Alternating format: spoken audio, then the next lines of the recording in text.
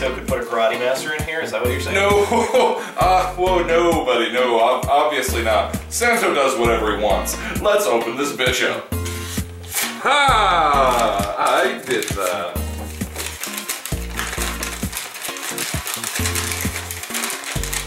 Heavens to Metroid! It's instructions on how to build a pander! Stop referencing, just read it. Instructions for building a pander. Step one. Build a pander. Hmm. Wait, what does this stuff say? I'm not even interested enough to read it. Mecha lecca hi! Mecha tiny tiny ho. Man, these instructions for building a pander are totally bogus. Just when it seemed like we were about to get a break. Why couldn't it have been cleared, numbered instructions, preferably with a diagram? Wait, do you mean like Legos? Like that movie that's coming out last week? Jake, Legos aren't movies. Legos are made out of foot paint. Not a movie, eh? It's a movie, we're reviewing it.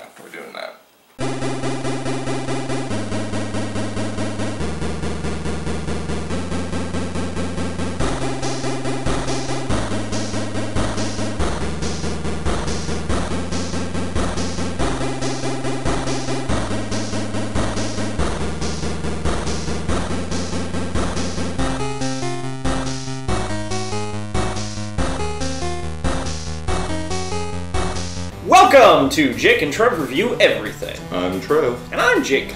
and today we're going to be taking a look at the Lego Movie. What is happening? You're the special, and the prophecy states that you're the most important person in the universe. That's you, right? Uh, yes. That's me. My fellow master builders. Hello. Lord Business plans to end the world as we know it. There is yet one hope. The special has arisen. I know what you're thinking. He is the least qualified person to lead us. And you are right. I'm not the special. I'm just a regular, normal guy. You have the ability to be the special because I believe in you. This movie is basically centered around Emmett. He's a basic Lego guy. He just builds Lego cities during the day. He's trying to fit in. He doesn't fit in. He's kind of a bland character, and that's how they set him up. So. He's so bland and generic that he has the standard traditional Lego face without any bells or whistles, so it's kind of plays up his regularness. he, at the end of one workday, falls into a hole, and he acquires the uh, piece of resistance. A magical relic of apparently another world to the to the Lego people anyway. Uh, that makes him the hero figure of a large myth around the special. He is the one. He is destined to save the Lego people from the evil machinations of our bad guy character, Lord Business. Lord Business is uh, in in the world where Emmett lives. He is known as President Business. Hi, I'm President Business, President of the Octan Corporation and the world. where he comes up with all the rules and he has integrated a very strict uh, instruction on how your day is supposed to go and he, he, he really enjoys orderliness Let's take extra care to follow the instructions or you'll be put to sleep. And don't forget Taco Tuesdays! it, it's, it comes up strangely with like kind of a little bit of an Orwellian vibe Yeah, to yeah. it you know I know uh, there have been definitely mentions of it being North Korean almost. Get the fuck out of here! You get your regular adventure story where he goes out and tries to save Legoland. yeah, he has to rise and meet the expectations of these resistance fighters who are known as the master builders uh, people who like to build things in the lego universes without instructions and just letting their imagination run wild Including, but not limited to, Superman, Wonder Woman, The Mermaid, Green Ninja, 1980 something Space Guy, Michelangelo, Michelangelo, and the 2002 NBA All Stars. And uh, so he, we get to see whether or not Emmett will rise to the occasion and become the special that everyone believes him to be. You're special, man. You reached out and you touched it by the heart. And whether he can stop Lord Business's nefarious plan to freeze everything in the, on all the Lego worlds uh, in a state of perfect stasis and order. That about sums it up. We're gonna drop the spoiler alert pretty early here. Um, there it is. You know it, you love it, the spoiler alert. I love it. I love it. It's pretty good. So we're just gonna throw out our thoughts about the movie. we're gonna be kind of forward about this. Uh, you know, no burying the lead. So, uh, without further ado, it's, It's awesome! It's awesome! Everything is awesome. Everything is cool awesome. It is that awesome. No, it's it's it's a really good movie. Yeah, it's a lot of fun. Man, I, I was really surprised. Like, you know, I thought it might be mildly entertaining. Are you not entertained? Oh, Absolutely, no. The the amount of comedy in this, humor, uh, the ability to poke fun at itself and other properties. I mean, this movie was made by Warner Brothers, and uh, they had a lot of uh, pies in this pie contest. Oh, fingers and Mm-hmm. pies. And they had all of their fingers and all of their pies in this pie contest. Aren't you gonna chow down? I'm a vegetarian. But for for their ability to take that and kind of run with it and play with it and not be ashamed to you know mess around with their own properties. Can you just do the line, please? I'm Batman. No. Yeah, the thing to mention is, is that this is not a movie that is just told in the medium of Legos. Right, right. It's not like Battleship where it's like Battleship, Milton Bradley's great game of strategy. It's loaded with action.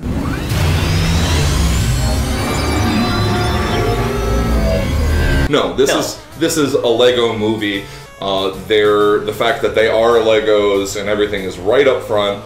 They, the, it's totally affectionate and made with love, and it's it was just put together so well. Oh, I get it. I get jokes. As a, as a reviewer, I, I have to sit and try to think critically. Well, Lottie frickin' da! Uh, what what can I what can I say is wrong with this movie? And if anything's wrong with it, it's that it's a little predictable. But when I say wrong, that's kind of a stretch. Um, it's predictable in the way that it needs to be without having getting bogged down and trying to set up some elaborate story. What they really saying is, Anaconda malt liquor gives you.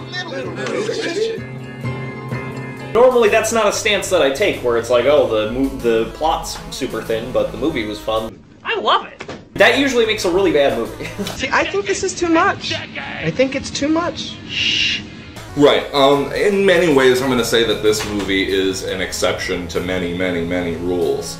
Um, and it just goes to show you that no matter how many times you try to say that this is this is how you make an entertaining movie, or, or, or this is how you make an entertaining movie, um, you know, There's no magic formula. right. I don't expect many of you to appreciate the subtle science and exact art. A great deal of the animation is done in stop motion. There's some CG work that that, that Yeah, had you- to be done for various reasons, and you know, And you can see it, but it's not really that off-putting. Right. It, it, it never really took me out of the action as far as as far as like uh, uh, consistency between shots. We didn't want anyone to know what was what. It was a real hybrid. We got a couple of guys who uh, have been working in animation for some time. Chris McKay. Uh, He's- he's one the of animation bigwigs- directors. The big big animation director, bigwig over at Robot Chicken, Mhm. uh, is the animation director of this one. Did that blow your mind? Which is weird. so here are all the people that are in awesome things for adults that were in this movie. For those of you with heart conditions, or who are with young and impressionable children, we ask that you turn around in your seats. Will Ferrell, who plays Lord Business slash President Business. When you're scraping the bottom of the barrel, you find yourself with a Will Ferrell. Uh, and what's unusual about that is, is that usually he has a pretty expansive comedy gang that Yeah. he just did not bring with him on this one. Satisfies the people, make sure they're you know they're happy enough to where they won't have have any other extraneous thoughts that may kind of get in the way. Also, we have from Parks and Rec, we have Nick Offerman I challenge you to find something I won't do. and Chris Pratt. I'd like to remake the movie Kazam with Shaquille O'Neal where he plays a genie, and I'd like to get it right. Watch it, boy! You don't want to diss me, or I'll dish out my misery. Uh, Andy and, of course, Ron Swanson. And I went to this website and this ad popped up that said, Hey, Ron Swanson. What's your question? My question is, what the hell? Like, how do they know who you are? Chris Pratt played the uh, did the voice of Emmett, the main character. Uh, yes, that's me.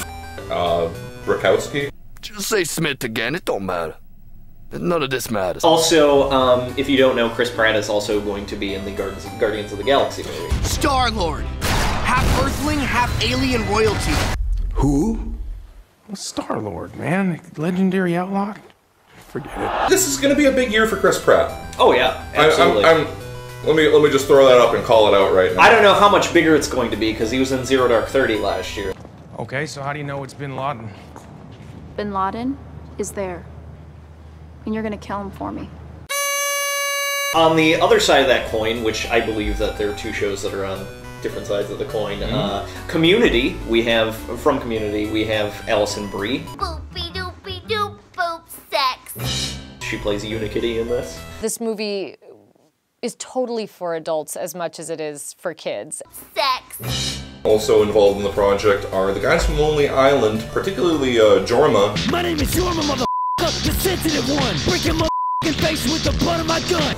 uh, who does the voice of Shakespeare, who is one of the master builders as part of the Resistance. Uh, but also, the, the three Lonely Island guys also contributed to the theme song of the movie. Uh, Everything is awesome. Feel more awesome than an awesome possum. Dip my body in chocolate frosting. Three years later, I shot the frosting. Smelling like a blossom. Everything is awesome. Uh, I mean, from guys that wrote a song called I Just Had Sex. Never guess where I just came from. I had sex. If I had to describe the feeling, it was the best. We have them uh, part of a song for a kids movie. Great. awesome. Couldn't, couldn't have done it better. you know, for kids. Many of you remember from back in 2012 it was something of a sleeper hit, uh, 21 Jump Street.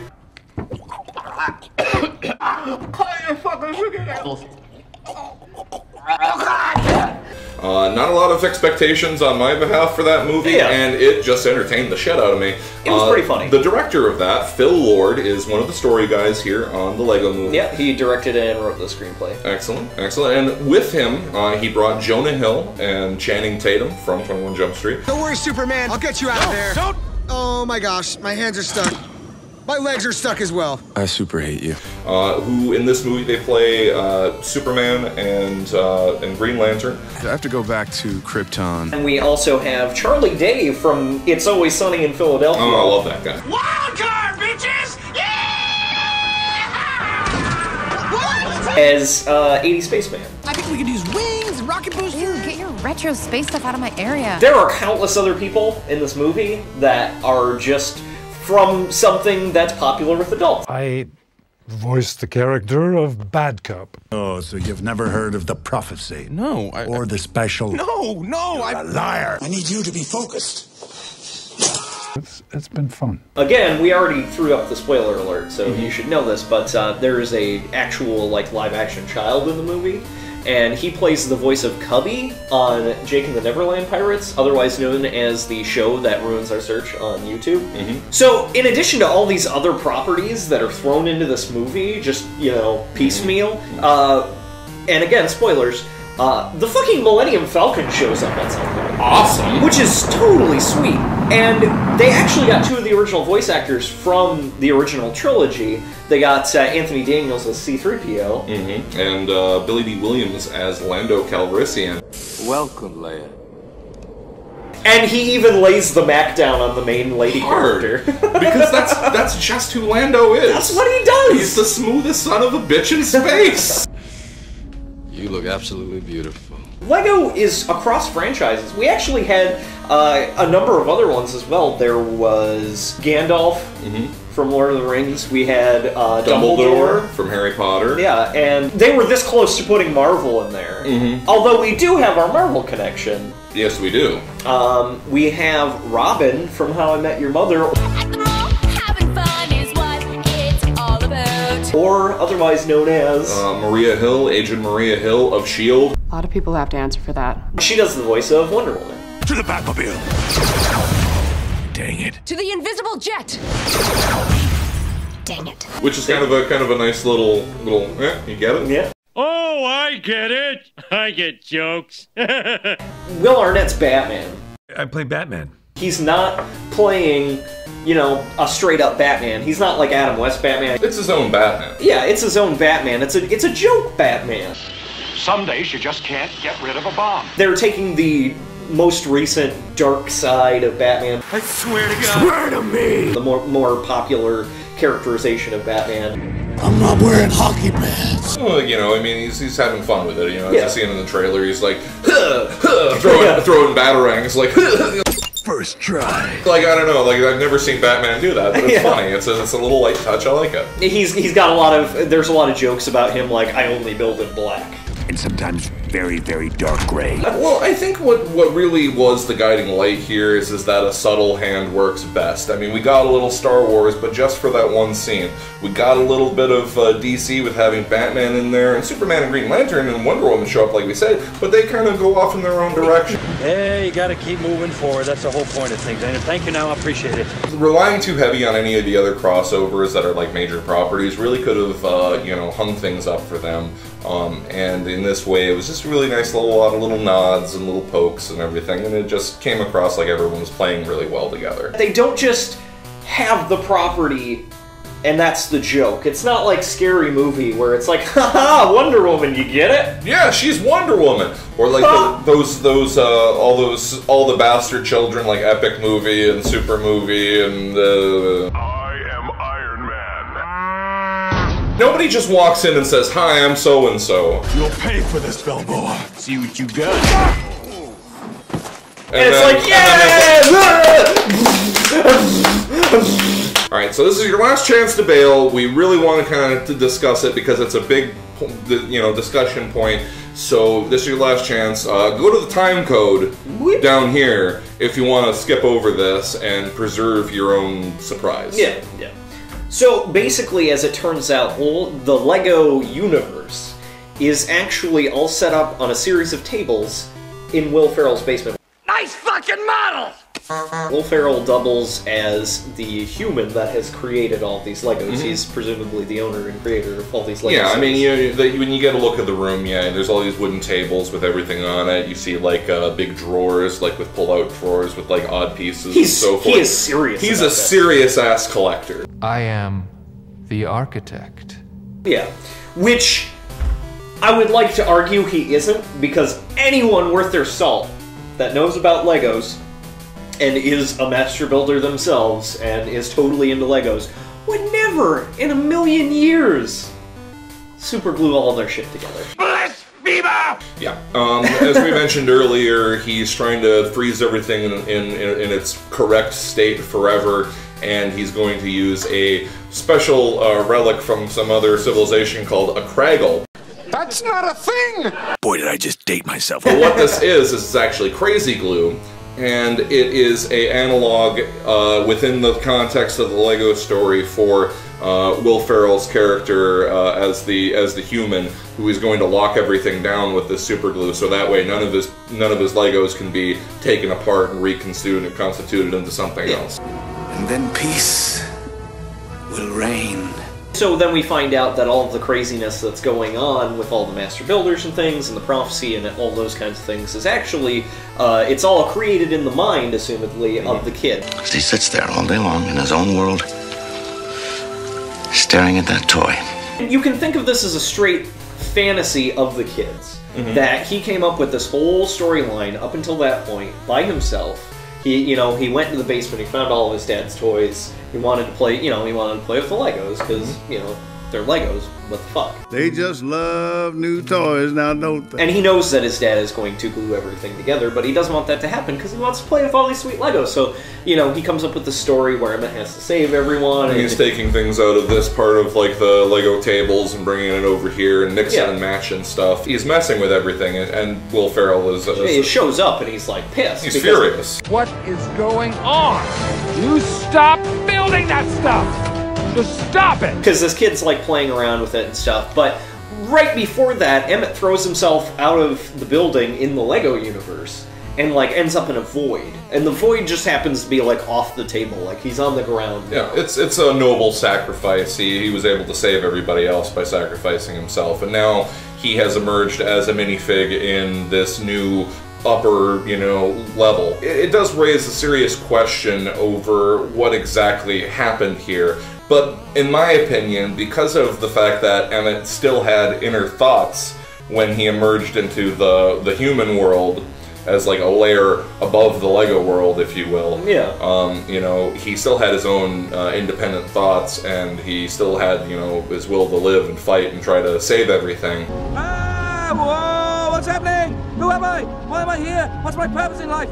What do I mean by who am I? But but then also like at some point he's on the Emmett is on the table. Uh, the dad picks him up and puts him on the table, and he's like, "I'm gonna try to move," and like he can't move.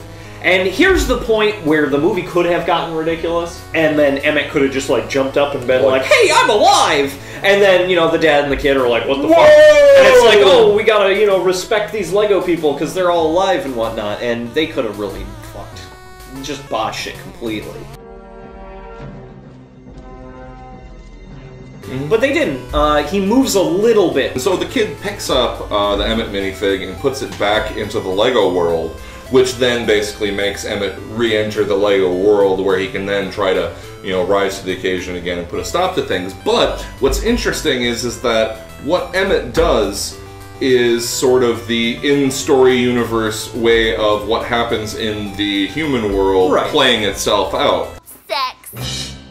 Sex. And I don't think that either one becomes invalid. I don't, you know, it's a reflection, but Yeah, I, I, I don't know. There's it bugged agency. me a, it bugged me a little bit, but not There's enough to agency. ruin it for me. Knock it off, Woods! Knock it off! Woods, knock it off! Boys, for the last time, stop! It is really poignant. I, you know, uh, father-son movies. I mean, I, I cry every time I see Big Fish. I'll Gets tell you me. that right Oh, now. gets me every Uh, time. right here, right here. And the strange thing is, there's not a sad face to be found. Everyone is just so glad to see you. And send you off right.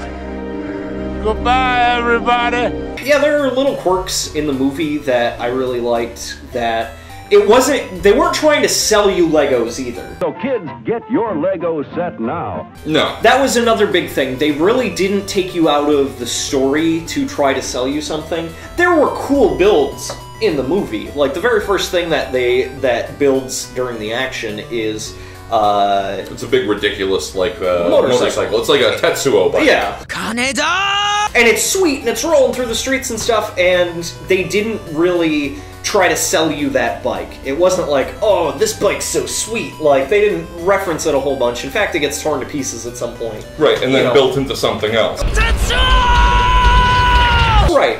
And you know, they they weren't constantly trying to sell you any character or anything. You know, you might go to the store and find that thing And and, you be can. like, "Oh, it's in yeah, no, they they have that specific Go check it out. as a Lego set." At department and toy stores everywhere. But they did reference their product very well, like we said before. Also, uh, all the master builders have this kind of like matrix vision where they can see each piece as its serial number. Because if you're familiar with Legos, each each Lego piece has some sort of designation. So they can see all the pieces and be like, "Oh, this That's piece uh, is piece that. eleven thirty five nine six. Yeah, yeah, whatever. The, that's the long piece with four Yeah. gimbals. Or, He, he doesn't know. He's just going along. There, there are a lot of visual gags that have to do with Legos that work really well. Like all the relics that Lord Business saves, they're all from the real world, like the X-Acto the, knife. The Kragle, the Polish remover of Nail. yeah, like these are all things that you would interact with your Legos with for the most part. Mostly. One of, one of my favorite uh, visual gags in the movie is Morgan Freeman's character, Vitruvius. Just listen to that rich molasses. Uh, he dies. But then he comes back as a ghost, and they use the ghost Lego piece. Yeah, with like his, the- with the his thing like that, like, goes up over it, Yeah. yeah. and then they have him like on a, a paperclip or a string or something, And it's, he's uh, just it's like, dangling, and like, he, he swings a little bit, Yeah, like you know, like, like with the- somebody's holding him. Right. You know. Oh, I get it. I get jokes. and then and it's, it's totally obvious and unabashed, and they're not ashamed of that at all. Yeah. And, and and that's kind of one of like my big takeaways from this is, is that they were completely unashamed of that they were playing with Legos Yeah. to make a movie. Now, were you Lego fans growing up? Yeah, uh, of course. You know. No, that, that was the point of the movie was to play with Legos. Again, yeah, again, going back to what we said initially, it could have easily been like they could have used all of these different sections and they had to go adventure. It would have been a, a self-enclosed universe mm-hmm. of Lego people and they all operate on Legos and with Legos. The whole world is created out of Lego bricks, or as I like to call them, bricks. They have to go get some sort of relic and it saves their world or whatever.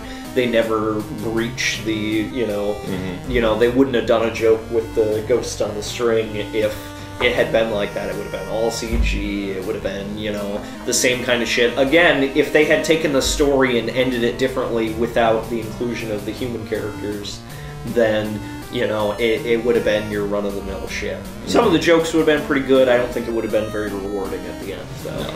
So, but they don't do that, and and that's the brilliance of this movie. Is again, it's it's poking fun at itself. You know, I think that's so important considering how many movies really take themselves so fucking seriously. Mhm. It's all grimdark shit But all not the time, but not this. This it's is bright and shiny, and, And it's it- having fun it- with and itself. it's positive, and it's awesome.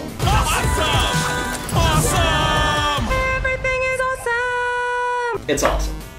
Um, so I think that about wraps it up. Yeah, Uh, yeah. You know, definitely go see this one. It's going to be well worth your, worth your time, even if you're not a big Lego head, if you're not a Brigster. You know, you could still get a lot of enjoyment out of this. Yes, it's true. So for Jake and Trev review everything, I'm Trev, And I'm Jake. and thanks for watching. Well, if we learned anything from this movie, it's that it's cool when you're part of a team. Are we part of? We are part of a team. Team Peanut Butter Disaster.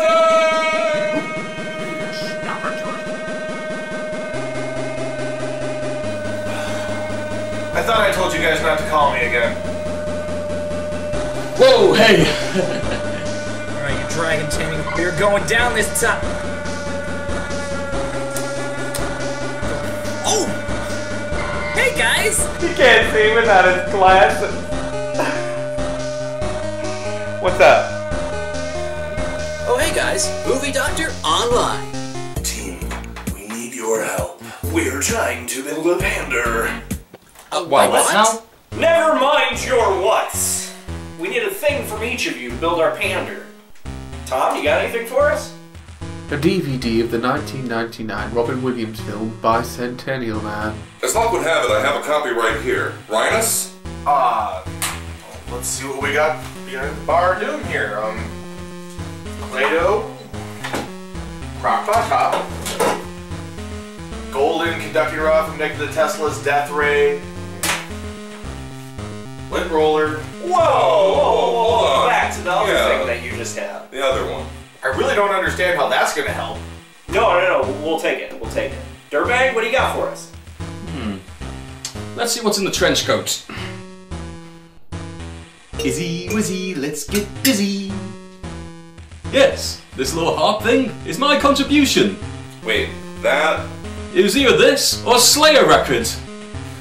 Eh, I guess it could work. What about you, Carrie? You got any sweet ninja stuff for us?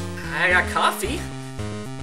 Uh, I mean, sure, it might not look like much, but I don't know. I had a little orange juice, maybe some bacon grease, a little bit of weapons grade plutonium. This could make a decent fuel source. Hell, I'm pretty sure the TARDIS might run on this. We also have one of those as well. Weird. Bizarro. Robbie, you got anything for the pander? Well, no pander thing wouldn't be complete without a spatula. You mean one of these? No, no, no, no, no. This is a spatula. Well, excuse me, Alton Brown. I assume you mean one of these then. Yes, he can be taught. Pat, you got anything you can add to the pander? Or, I mean, you're a smart guy. Any, any tips? Hmm. Well, I'd start by connecting the Faraday converginator here to the influx adjuster. That alone will give you 50 more RPMs to the ocular coherence topographer. And if you use the turbulent anisometrope, you'll be golden. Oh, totally. We we won't forget any of that. Huh. Be careful when you get back. Thanks, everyone. Now we just have to build it. Let's do it.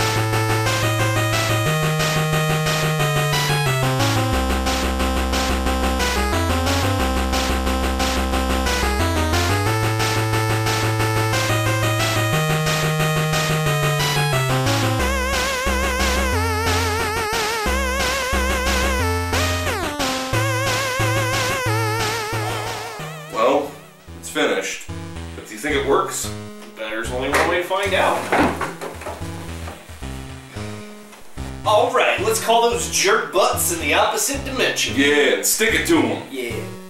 Man, so the other night I took Evil Laura you know, the one with uh, the pig. Yeah, yeah. And I tried grabbing him and I squeezed him. You squeezed him and you went whoop. yeah, she punched me in the head, man. Did you uh do him like this? yeah. Then she kicked me in the balls, man. Ha ha! Wait, what?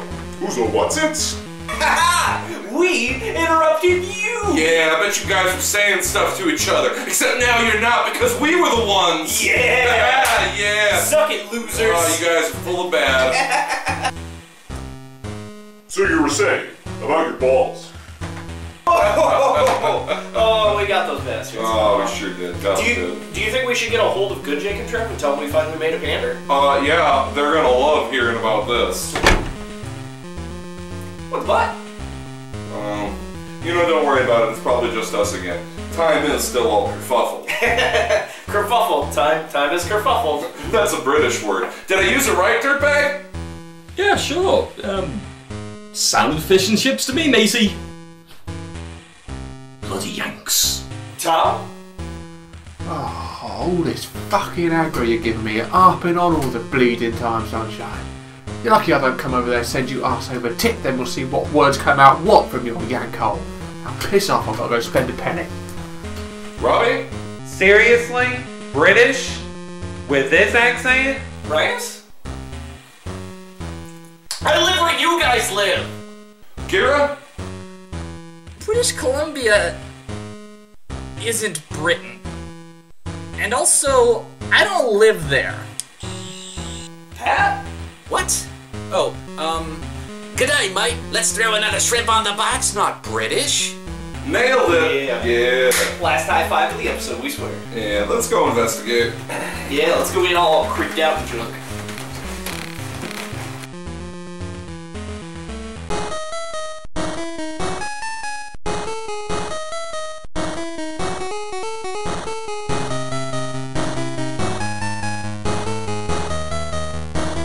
Peanut butter disaster.